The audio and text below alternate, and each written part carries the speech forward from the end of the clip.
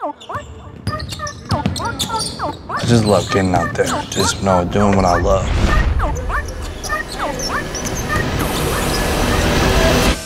If I just continue doing what I do, work hard in school, work hard outside, it's gonna pay off.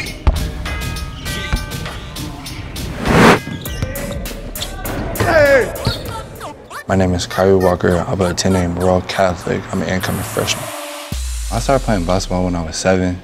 I was like, Dad, I want to talk to you about something. He was like, What is it? I was like, I want to play basketball. From there, I went to the gym. I never stopped. Go to school, go to the gym. Sleep. Routine every day. Been routine since I was nine. Boom, boom, boom. Over the top. Good. There you go. Very good. Very good. Kyrie has a passion for basketball. You very seldomly see it with young kids. His athletic ability is off the charts. He's fast, he's big, he's strong. The only thing we really have to worry about is is he mentally ready? He's still a kid, you know. Five. Push. Six. Push. Push. Seven. Eight.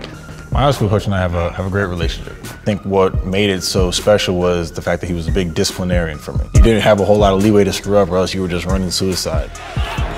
My goal was always to play in the NBA. And I always wanted to, you know, be on that same court as, you know, the Michael Jordans of the world, the Kobe Bryant. So, and I always wanted to just work to get to that point.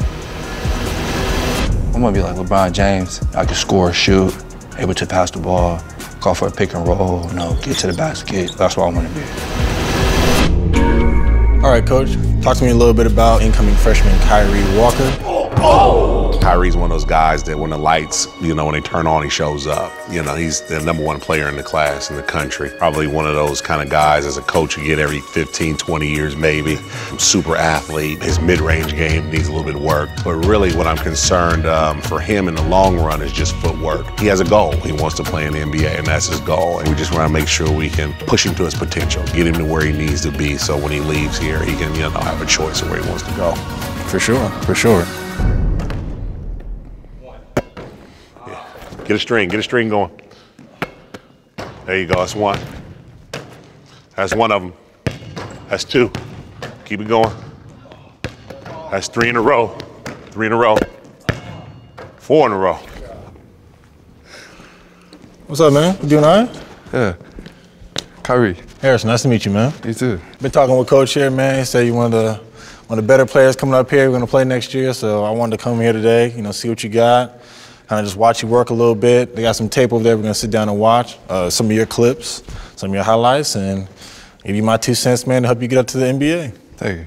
I'm here to just give some advice. I've been through it, college experience. I've got the high school experience, so I'm here to try to give the best answers I can.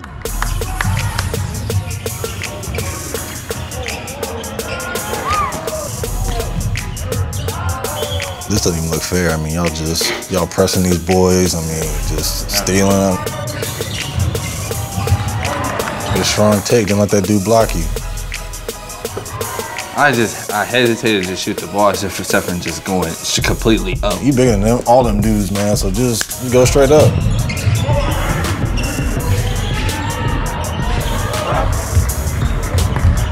Oh, you should have dunked that one. You dunk with your left hand? Yeah, I can. How, how- how's your defense? My defense really got, got a lot better. And now I'm, I'm really trying to work on it more. Whether you stay at 6'5", whether you become 6'10", you know, it's not about what position you can play offensively, but it's what you can guard defensively. That's what's ultimately going to determine how, how much time you get on the floor. And that's going to allow you to be so much more versatile. Yeah. So now that we watched some tape here, saw some highlights, we're gonna go on the court and just kind of talk through a few things that Coach talked about that he wanted to just see you improve upon next year. So you gotta be ready to, you know, lead your team. So we're gonna talk a little bit about some shooting, just some footwork stuff, and then just some conditioning. Uh, you want to have efficient movement in your shot. So when you catch it, try to keep it a little bit higher. So you're going from here, it's just one motion. You step, and it's one motion up into your shot. Catch low, good. So it's almost like you're just catching here, you're going right up with it, like that. It's better. It's always left, right, left, right. So you kind of catch, left, right, shot. It's all about these building blocks. Don't dip it to come up. Just catch it right here and go straight up with it. You know, I remember when I first got to high school, I used to shoot, you know, from the hip. You know, and just getting the ball up, you know, shooting the right position. You know, that took me, you know, a lot of time to do that. You know, mastering, you know, one, two dribble pull-ups, just things you can go to all the time. It's things that I still do to this day, but you know, it's really putting in that time in high school to really get those things down pat, and that was, you know, just a good part of you know my development in terms of you know allowing me to be a perfectionist. Shooting is all about the process. It's all about doing these types of things every single time. When you catch it, you should be low. When you jab, you should be low. When you go into your shot, you should be low.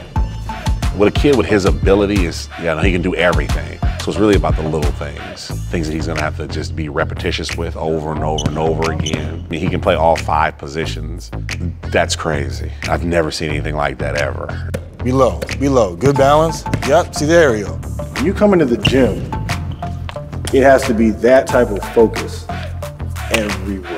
every rep. Those are the type of things, staying low, the one, two, not dipping the basketball, being efficient on your jabs, efficient on your movements. Those are things you have to be hard on yourself with every single day. Those are the little things that I think will really help you grow and make you into the player you want to be. You gotta work hard. If you don't work hard, then somebody's passing you. You know, I don't like people passing me. So that was the basics that I want to give you today, and just encourage you, man. I mean, you got potential. I mean, you can you can definitely be in the NBA someday. Definitely, you know, be the player that you want to be, but you got to put in that work. Man, coach. No problem, fellas.